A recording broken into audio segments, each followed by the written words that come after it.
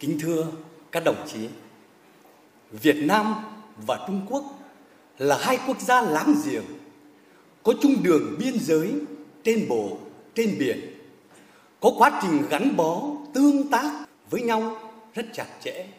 Nhưng quá trình gắn bó tương tác đó cũng là lý do để cho mối quan hệ hai nước bên cạnh thuận lợi, đan xen những phức tạp và nhạy cảm và là những chủ đề thời sự rất nóng bỏng. Để chúng ta có thêm thông tin, có cái nhìn đầy đủ hơn, thực chất hơn về chiến lược của Trung Quốc cũng như mối quan hệ Việt Trung. Hôm nay, chúng tôi xin giới thiệu với các đồng chí chuyên đề sáng kiến vành đai và con đường của Trung Quốc và những tác động đối với Việt Nam. Chuyên đề này gồm có hai phần. Phần thứ nhất là sáng kiến vành đai và con đường sau 6 năm nhìn lại. Phần thứ hai là Việt Nam với sáng kiến vành đai và con đường và những vấn đề cần rút ra từ nghiên cứu chuyên đề. Trong thời lượng cho phép hôm nay, tôi xin được trình bày khái lược phần thứ nhất và những vấn đề cơ bản của phần thứ hai. Kính thưa các đồng chí, sau mấy chục năm tiến hành cái công cuộc cải cách mở cửa, Trung Quốc đã đạt được những thành tiệu rất là thần kỳ ở trên nhiều lĩnh vực của đời sống xã hội. Nhưng đằng sau cái ánh hào quang đó là một loạt vấn đề. Nó là hậu quả của sự phát triển quá nhanh, quá nóng và chạy theo số lượng tăng trưởng. Từ năm 2012 thì kinh tế Trung Quốc rơi vào cái điểm nghẽn. Tốc độ tăng trưởng chậm lại. Trong khi đó, cái cạnh tranh chiến lược giữa Trung Quốc và Mỹ thì ngày càng gay gắt. Trong bối cảnh đó, tháng 9 năm 2013, Chủ tịch Trung Quốc Tập Cận Bình đưa ra sáng kiến có tên gọi là vành đai và con đường. Vành đai và con đường là sáng kiến và cũng là một đại dự án và cũng là một chiến lược của Trung Quốc với ý tưởng phục hưng lại cái con đường tơ lụa của Trung Hoa cổ đại để kết nối Trung Quốc với các nước trên thế giới trên năm phương diện. Đó là chính sách, là kết cấu hạ tầng, là thương mại, là tài chính và kết nối con người. Nội hàm của nó có hai thành tố, đó là vành đai và con đường. Vành đai có nghĩa là vành đai kinh tế trên bộ, được thiết kế với ba nhánh chính để kết nối Trung Quốc với các nước ở châu Á, châu Âu, châu Phi và một số nước ở các châu lục khác. Con đường có nghĩa là con đường tơ lụa trên biển thế kỷ 21 để nối liền cái hệ thống cảng biển của Trung Quốc với các cảng biển của các nước ở trong khu vực và trên thế giới.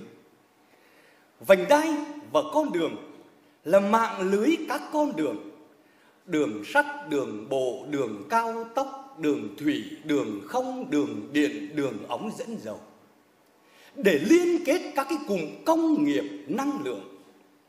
Nó đã và đang thực hiện chủ yếu ở những khu vực, ở những cái nước mà còn thiếu tài chính để đầu tư cho cơ sở hạ tầng. Vậy, vành đai và con đường nó là sáng kiến hay là một chiến lược? À, xin thưa các đồng chí là ban đầu thì Trung Quốc coi vành đai con đường là một chiến lược. Tuy nhiên, nếu mà mời thiên hạ tham gia cái chiến lược của Trung Quốc thì thiên hạ sẽ không sẵn lòng và Trung Quốc có lẽ không đạt được cái ý đồ của mình. Cho nên Trung Quốc thống nhất gọi là sáng kiến.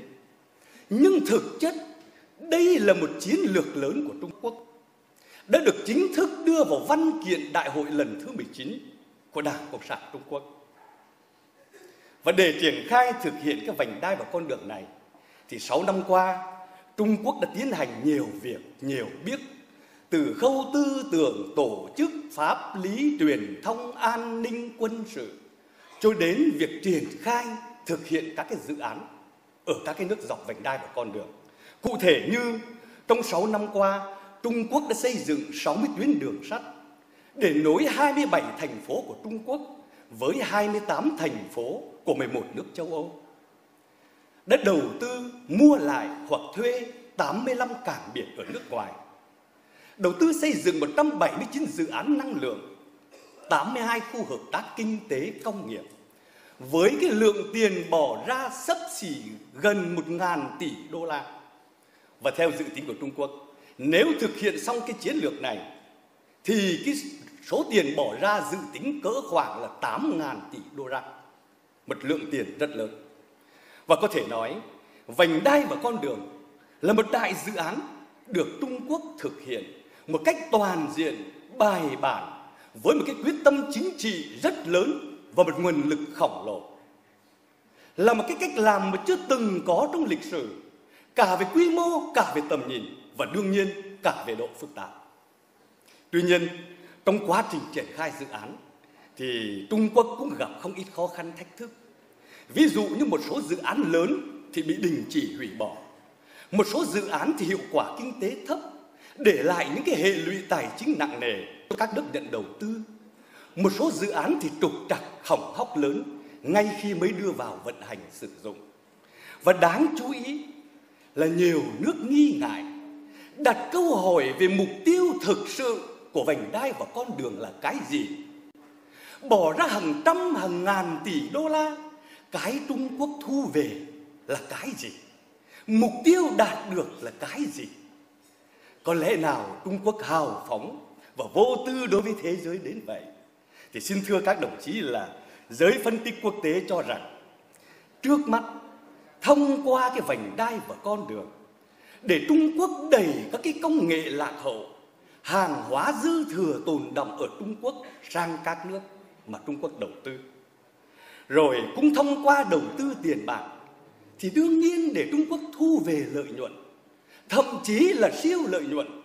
Nhưng kèm theo đó, nó còn là giải quyết được cái vấn nạn dư thừa lao động ở Trung Quốc và thực hiện được cái chiến lược di dân ra bên ngoài xa hơn là để quốc tế hóa cái đồng nhân dân tệ từng bước làm xói mòn cái ngôi vị độc tôn của đồng đô la và cái vai trò chủ đạo của Mỹ trong các cái định chế kinh tế tài chính toàn cầu.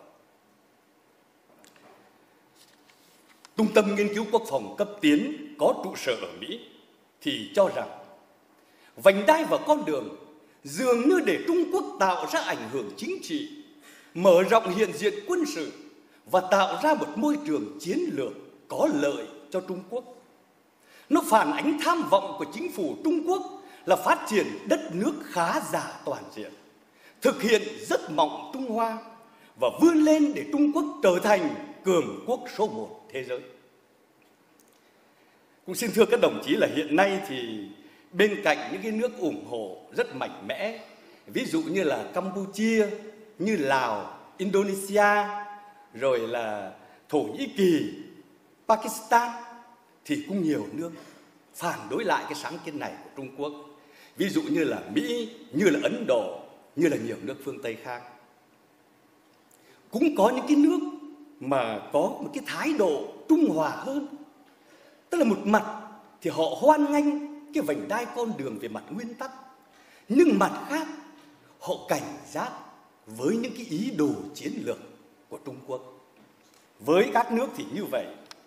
Thế còn với Việt Nam chúng ta thì sao? Thì cũng xin thưa các đồng chí, Việt Nam chúng ta cũng là một nước đang phát triển. Chúng ta cần hợp tác thương mại, chúng ta cần đầu tư nước ngoài. Lại là một cái điểm giao thoa của hai siêu chiến lược. Đó là cái chiến lược vành đai con đường của Trung Quốc và chiến lược Ấn Độ Dương, Thái Bình Dương của Mỹ. Cho nên cái việc Việt Nam tham gia vào vành đai con đường chỉ còn là vấn đề lựa chọn về thời gian, không gian, địa bàn, cách thức, lĩnh vực và mức độ như thế nào đó cho phù hợp. Trên cơ sở cân nhắc lợi ích của đất nước ta và tỉnh táo để không trở thành cái quân bài bị mắc kẹt giữa các nước lớn phải giải quyết là cái bài toán lựa chọn bên này hay lựa chọn bên kia. Nhưng năm vừa qua thì chúng ta cũng đã xây dựng cái đề án kết nối khuôn khổ hai hành lang một vành đai của Việt Nam với vành đai và con đường của Trung Quốc. Chúng ta cũng đã cử đại diện tham gia vào một số hoạt động của các bộ ngành từ trung ương đến địa phương của Trung Quốc tổ chức trên danh nghĩa là vành đai và con đường. Và bước đầu thì cũng có những cái kết quả. Ví dụ như từ năm 2017 thì Trung Quốc vươn lên trở thành cái nhà đầu tư nước ngoài lớn thứ tư ở Việt Nam với tổng số vốn là 3,7 tỷ đô la. Năm 2018 tăng lên 5,7 tỷ đô la và đáng chú ý năm 2019 có cái tăng vọt lên tới gần 20 tỷ đô la. Về thương mại thì hiện nay Trung Quốc là đối tác thương mại số 1 của Việt Nam và Việt Nam cũng là đối tác thương mại số 1 của Trung Quốc ở khu vực Đông Nam Á. Kim ngạch thương mại của hai nước năm 2019 tiếp tục xác lập một kỷ lục mới, đạt con số trên 116 tỷ đô la. Đó là những cây được. Tuy nhiên, bên cạnh những cây được đó thì còn nhiều vấn đề chúng ta cũng phải hết sức lưu ý. Trước hết là chúng ta phải tỉnh táo, phải chủ động để không phải rơi vào cái bẫy nợ, không để phụ thuộc về quân kinh tế, không để Việt Nam trở thành cái thị trường mà tiêu thụ công nghệ lạc hậu, hàng hóa dư thừa kém chất lượng hoặc là chẳng hạn như là vấn đề ô nhiễm môi trường, tham nhũng và các vấn đề phức tạp khác. Cái thứ hai, ASEAN được Trung Quốc coi là cái sân sâu của mình. Cho nên Trung Quốc đã, đang và sẽ đầu tư nhiều dự án vào cái khu vực này. Và các dự án này sẽ có ảnh hưởng đáng kể đến Việt Nam, làm gia tăng sự kiểm soát của Trung Quốc đối với khu vực và sự phụ thuộc của một số nước ở trong khu vực đối với Trung Quốc. Bởi vì không có bữa trưa nào là miễn phí. Ba là việc Trung Quốc đang đầu tư vào một loạt cảng biển nước sâu ở khu vực Đông Nam Á. Trong đó đáng chú ý đó là cái sân bay quốc tế Darasako, cảng nước sâu Jim ở tỉnh Cô Công, Campuchia, rồi cái cảng nước sâu Sinukvin, cảng Campuchia.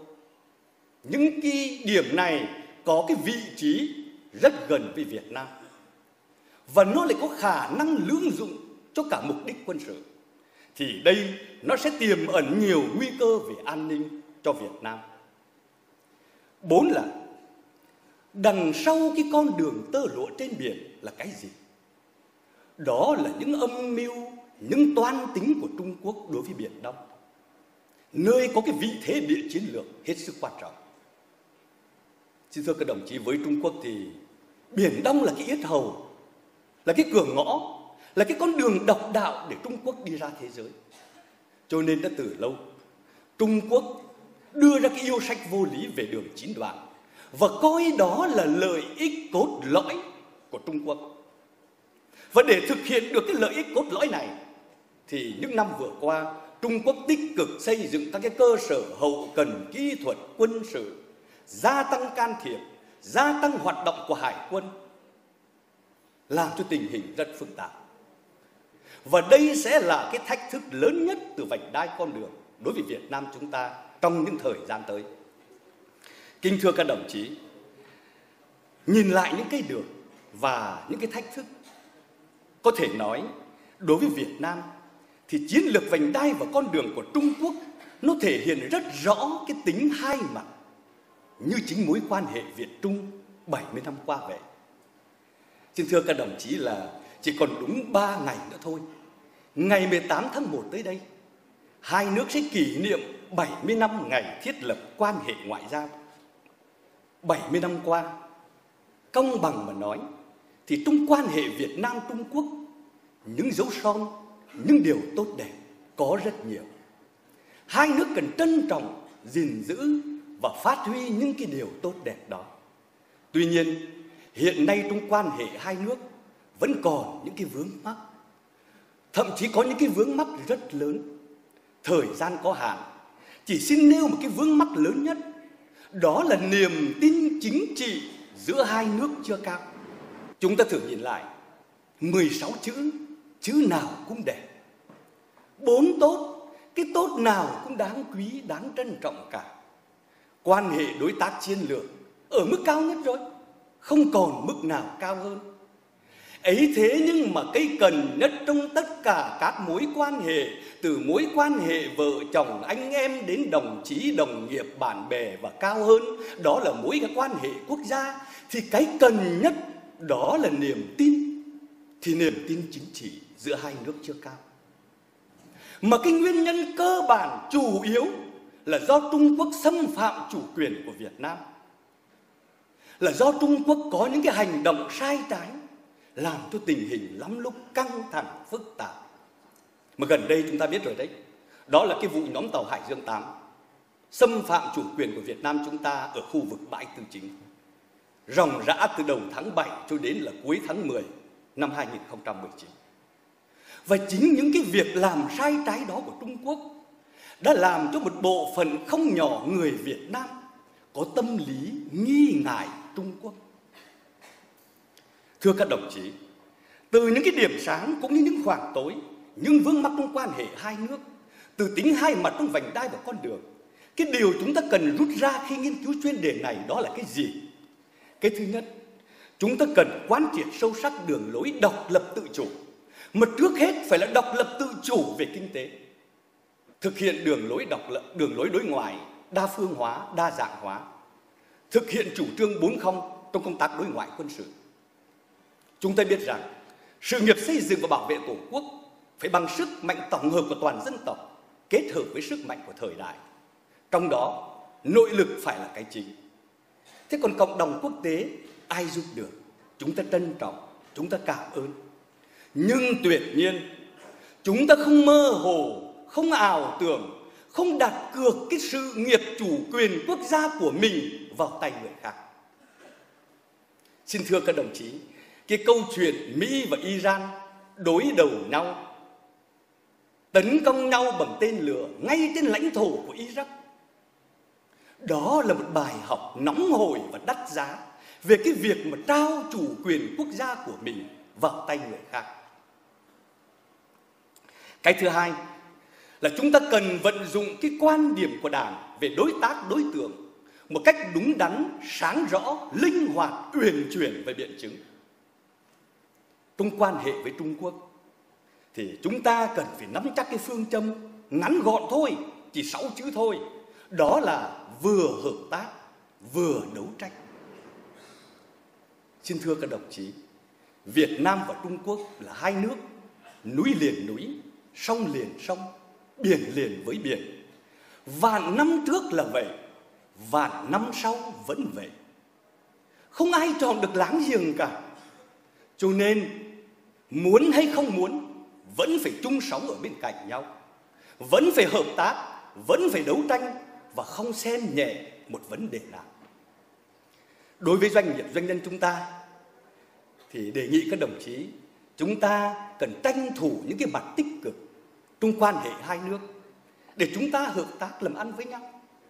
Mà trong hợp tác thì đương nhiên chúng ta phải coi trọng cái hiệu quả, cái lợi nhuận. Nhưng cũng đề nghị các đồng chí chú ý cho phải đặt lợi ích quốc gia dân tộc lên trên hết và lên trước hết. Và trong cái điều kiện có thể thì cũng ờ, xin đề nghị các đồng chí chú ý cho công tác tuyên truyền để cho đối tác, cho nhân dân nước bạn nhận thức đúng về chủ quyền pháp lý và lịch sử của Việt Nam ở Biển Đông, đường lối của Đảng và Nhà nước ta, lịch sử, văn hóa, truyền thống Việt Nam cùng nhau vun đắp cho tình đoàn kết hữu nghị giữa nhân dân hai nước. Cái thứ ba là trong giải quyết các cái mối quan hệ quốc tế hiện nay thì cần thực hiện tốt phương châm chỉ đạo dĩ bất biến, ứng vạn biến. Cái bất biến đó là độc lập dân tộc, là chủ nghĩa xã hội, là toàn vẹn lãnh thổ, là hạnh phúc của nhân dân. Còn cái vạn biến là cái gì? Đó là linh hoạt trong hợp tác, khôn khéo trong đấu tranh và tạo dựng các cái lợi ích đan xen. Việt Nam chúng ta vừa đi qua năm 2019 với những thành tiệu hết sức ấn tượng mà như là ngân hàng thế giới đã có nhận định là mây đen bao phủ toàn cầu nhưng mặt trời vẫn đang tỏa nắng ở Việt Nam. Thật đúng như vậy. Tốc độ tăng trưởng đạt trên 7%, lạm phát duy trì ở mức dưới 3% và là mức thấp nhất trong 3 năm vừa qua. Đầu tư nước ngoài đạt con số kỷ lục trên 20 tỷ đô la, quy mô xuất nhập khẩu 517 tỷ đô la, trong đó xuất siêu trên 9,9 tỷ đô la. Số doanh nghiệp thành lập mới cũng đạt kỷ lục là 138.000 doanh nghiệp. Rồi những cái thành công vang dội của đoàn thể thao Việt Nam tại SEA Games 30 với thành tích đứng thứ hai toàn đoàn. Cả bóng đá nam, bóng đá nữ đều đoạt huy chương vàng. Rồi chúng ta bước vào năm 2020 với tư cách là ủy viên không thường trực của Hội đồng Bảo an Liên Hợp Quốc với số phiếu bầu gần như tuyệt đối. Xin thưa các đồng chí, chưa bao giờ đất nước ta có được cái cơ đồ, cái vị thế, cái không khí như ngày hôm nay. Phải giữ lấy cái môi trường hòa bình ổn định để phát triển. Đó vừa là mục tiêu, vừa là tiền đề và cũng là khát vọng ngàn đời của dân tộc Việt Nam. Một dân tộc mà sáng chắn bão giông, chiều ngắn nắng lửa, máu xương kia dằn dặt mấy ngàn đời. Hồn dân tộc ngàn năm không chịu khuất, dáng con tàu vẫn hướng mãi ra khơi. Một dân tộc đã trải qua mất mát đau thương trong chiến tranh nhiều lắm rồi. Hơn ai hết, chúng ta yêu chuộng hòa bình. Nhưng trong vấn đề chủ quyền lãnh thổ, chúng ta kiên trì đấu tranh bằng biện pháp hòa bình, ngoại giao, pháp lý, chứ chúng ta không bao giờ nhân nhượng. À, chúng ta cùng nghe lại phát biểu mới đây của Tổng Bí thư Chủ tịch nước Nguyễn Phú Trọng. Đây là thông điệp của Đảng nhà nước ta, mà cũng là bài học truyền đời, cũng là âm vang của cha ông ta từ ngàn xưa vọng lại. Quyết kiên trì giữ vững độc lập chủ quyền, thống nhất toàn vẹn lãnh thổ của Tổ quốc. Nhưng đồng thời phải giữ cho được môi trường hòa bình để phát triển đất nước chứ. Xử lý mối quan hệ này không đơn giản chút nào. Nặng về bên nào đều bị phê phán cả. Thế tất cả có phải vì lợi ích quốc gia dân tộc không? Hay là chỉ có một số phần tử cố tình kích động? To tiếng lên lên gân lên, ra vẻ, ta là anh hùng, ta chỉ là yêu nước, ta yêu nước, còn trung ương đảng, chính phủ này không yêu nước à? Tổng bí thư không yêu nước à? Vô trách nhiệm à? Cảnh giác với những cái phần từ những cái, cái luận điệu xuyên tạc đừng mắc mưu làm sao để đất nước yên bình để mà tiến lên. Nhưng đồng thời vẫn giữ được độc lập chủ quyền thế mới là giỏi. Cha anh ta cũng thế thôi các cụ khôn khéo lắm. Tôi không nói cụ thể chỉ xin nói tinh thần thế thôi. Cố gắng giữ quan hệ cho tốt. Nhưng cái gì thuộc về độc lập chủ quyền toàn vẹn lãnh thổ ta không bao giờ nhân nhượng kính thưa các đồng chí hơn 2.000 năm trước người Trung Hoa có một con đường tơ lụa mà khởi nguồn của nó không phải là tơ cũng chẳng phải là lụa mà đó là con đường đi tìm đồng minh liên kết với đồng minh để thực hiện mục đích chính trị của Hán Vũ Đế. Hơn 2.000 năm sau, Trung Quốc cho ra đời sáng kiến vành đai và con đường với mục đích như tuyên bố của ông Tập Cận Bình đó là kinh tế, là thương mại, là hợp tác hai bên cùng thắng. Nhưng đằng sau những cái ngôn từ đẹp đẽ đó, nó còn là vấn đề chính trị, an ninh, lãnh thổ. Là tham vọng để trung quốc trở thành cường quốc số một thế giới, lãnh đạo thế giới. Ở mọi góc nhìn, trên mọi phương diện, thì vành đai và con đường đều có tác động hai mặt và rất phức tạp, rất khó lường đối với việt nam chúng ta.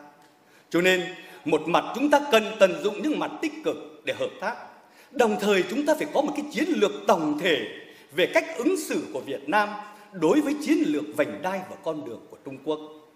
Điều quan trọng nhất là chúng ta không ngừng củng cố, tăng cường tiềm lực về kinh tế, chính trị, an ninh, quốc phòng, đối ngoại. Củng cố khối đại đoàn kết toàn dân, tin tưởng tuyệt đối vào sự lãnh đạo của Đảng và nhà nước ta trong sự nghiệp xây dựng và bảo vệ Tổ quốc Việt Nam xã hội chủ nghĩa. Kính thưa các đồng chí, phần thuyết trình của tôi đến đây kết thúc. Trước thềm năm mới, cho phép tôi xin gửi đến toàn thể các đồng chí lời chúc tốt đẹp nhất của mùa xuân. Xin trân trọng cảm ơn các đồng chí.